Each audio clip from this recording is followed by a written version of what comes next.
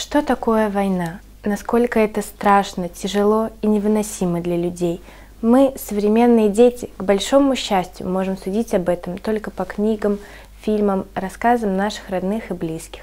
Прошло 75 лет, как закончилась Великая Отечественная война, но память о тех страшных четырех годах жива и по сей день, ведь эта война так или иначе затронула каждую семью в нашей огромной стране. Меня зовут Обновленская Злата. Я учусь в восьмом А классе гимназии номер 12 города Твери. В Великой Отечественной войне принимал участие и мой прадед Михаил Степанович Воронцов. К сожалению, я совсем его не помню, ведь он ушел, когда мне было два года. Но в моей семье мне рассказывают о его жизни и подвигах. Мы храним его фотографии, личные записи и воспоминания. Мы участвуем в акции «Бессмертный полк». Мой прадед с детства мечтал стать офицером. В 1938 году, за три года до начала войны, ему задали в школе написать сочинение на свободную тему. И мой прадедушка написал, как на нашу страну напали немцы, а он, блестящий офицер, командир Красной Армии, отважно сражался против них. Но в то время был подписан договор о ненападении между СССР и Германией, и, естественно, за такое сочинение поставили очень плохую оценку – но уже в июле 1941 года моему прадедушке пришлось надеть военную форму.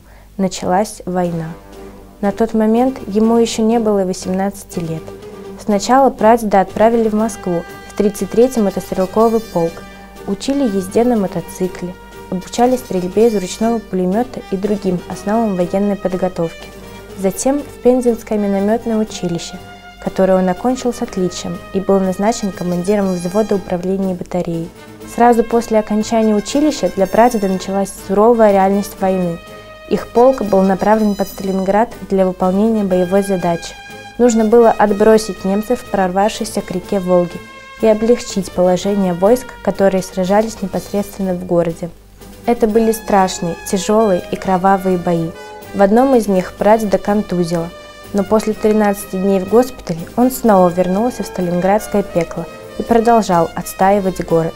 В конце Сталинградской битвы Михаила Воронцова назначили начальником связи полка. В этой должности он воевал до победы. Мне сегодня трудно до конца понять и прочувствовать, каково это жить и продолжать яростно сражаться с полной самоотдачей, когда смерть ходит за тобой по пятам.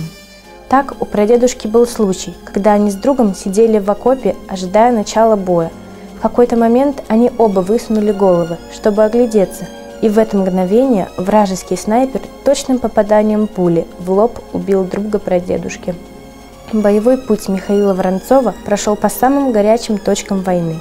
Орловско-Курская дуга, форсирование рек Сош, Десна, прорыв Днепропетровского вала, операция «Багратион», освобождение Белоруссии, бои на польской территории, взятие Данцига, переправа через Одер.